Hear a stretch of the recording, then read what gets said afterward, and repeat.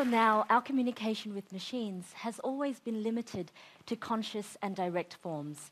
Whether it's something simple like turning on the lights with a switch, or even as complex as programming robotics, we have always had to give a command to a machine, or even a series of commands, in order for it to do something for us.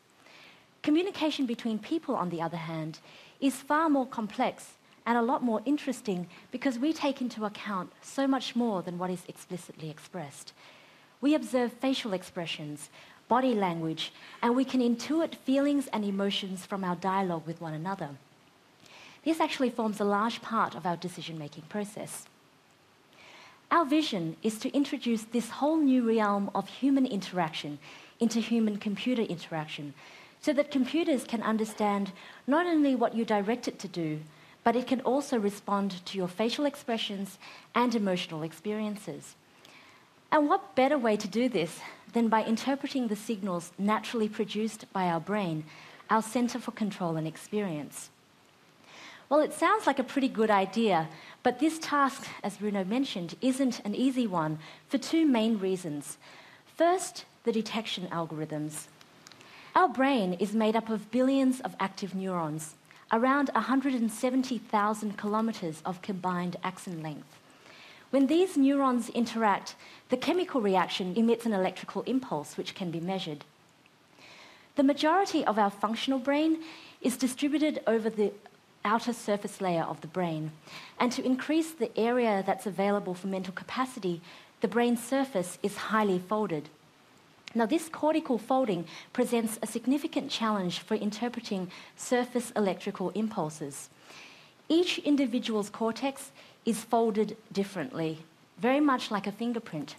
So, even though a signal may come from the same functional part of the brain, by the time the structure has been folded, its physical location is very different between individuals, even identical twins. There is no longer any consistency in the surface signals. Our breakthrough was to create an algorithm that unfolds the cortex so that we can map the signals closer to its source and therefore making it capable of working across a mass population. The second challenge is the actual device for observing brainwaves. EEG measurements typically involve a hairnet with an array of sensors, like the one that you can see here in the photo. A technician will put the electrodes onto the scalp using a conductive gel or paste, and usually after a procedure of preparing the scalp by light abrasion.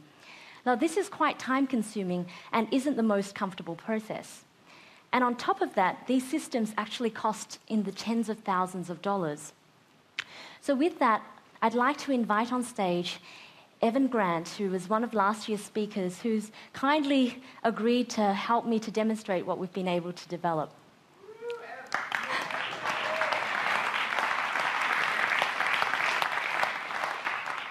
So, the device that you see is a 14 channel high fidelity EEG acquisition system.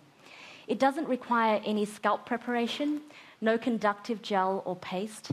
It only takes a few minutes to put on and for the signals to settle. It's also wireless, so it gives you the freedom to move around. And uh, compared to the tens of thousands of dollars for a traditional EEG system, this headset only costs a few hundred dollars.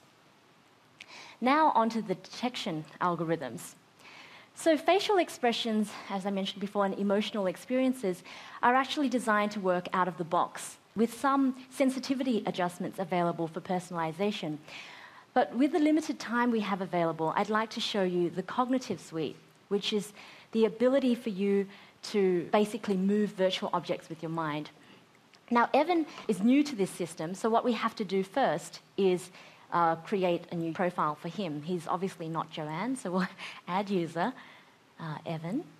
Okay.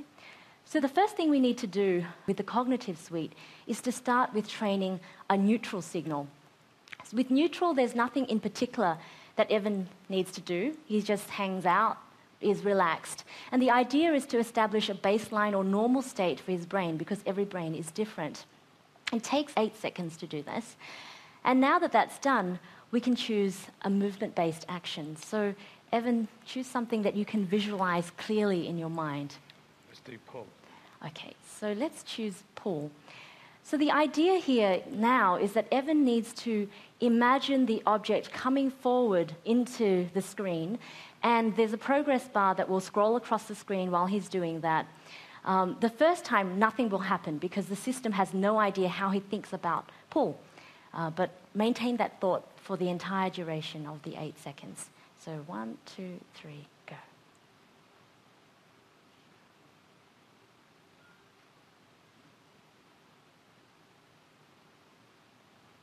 Okay, so once we accept this, the cube is live. So let's see if Evan can actually try and imagine pulling. Oh, good job! That's really amazing. So we have a little bit of time available. So I'm going to ask Evan to do a really difficult task. And this one is difficult because it's all about being able to visualize something that doesn't exist in our physical world. And this is disappear. So, what you want to do, at least with movement based actions, we do that all the time so you can visualize it. But with disappear, there's really no analogies. So, Evan, what you want to do here is to imagine the cube slowly fading out, okay? Same sort of drill. So, one, two, three, go.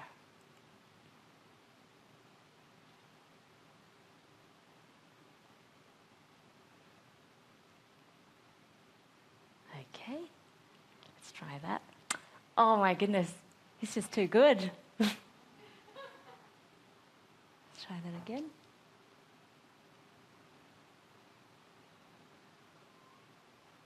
Losing concentration. but we can see that it actually works, even though you can only hold it for a little bit of time. As I said, it's a very difficult um, process to imagine this. And the great thing about it is that the, we've only given the software one instance of how he thinks about disappear. Um, as, as there is a machine learning algorithm in this. Thank you. That's all. Good job. Good job. Thank you, Evan. You are a wonderful, wonderful example of the technology. So, as you can see uh, before, there is a leveling system built into this software so that as Evan or any user becomes more familiar with the system, they can continue to add more and more detections so that the system begins to differentiate between different distinct thoughts. Um, and once you've trained up the detections, these thoughts can be assigned or mapped to any computing platform, application, or device.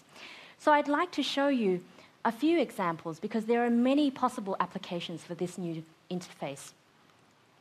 In games and virtual worlds, for example, your facial expressions can naturally and intuitively be used to control an avatar or virtual character. Obviously, you can experience the fantasy of magic and control the world with your mind. And also, colors, lighting, sound, and effects can dynamically respond to your emotional state to heighten the experience that you're having in real time.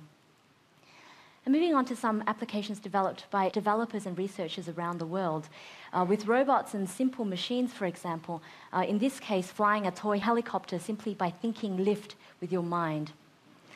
The technology can also be applied to real world applications. In this example, a smart home. You know, from the user interface of the control system to uh, opening curtains or closing curtains,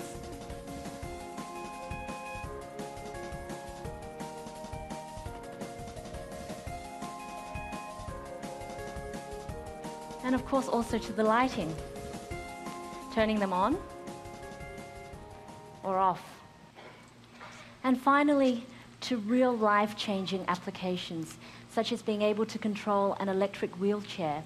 Uh, in this example, uh, facial expressions are mapped to the movement command. Now blink right to go right.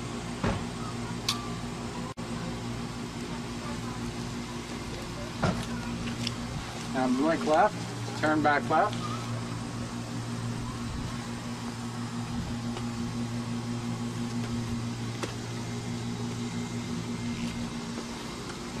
Smile to go straight. We are really, uh, thank you. We are really only scratching the surface of what is possible today. And with the community's input and also with the involvement of developers and researchers from around the world, we hope that you can help us to shape where the technology goes from here. Thank you so much.